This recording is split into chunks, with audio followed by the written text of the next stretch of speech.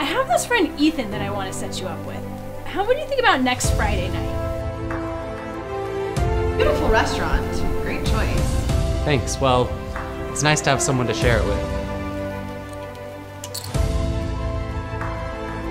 It's, hard to get away with with kids.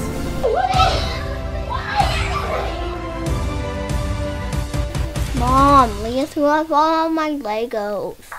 Oh no. Really?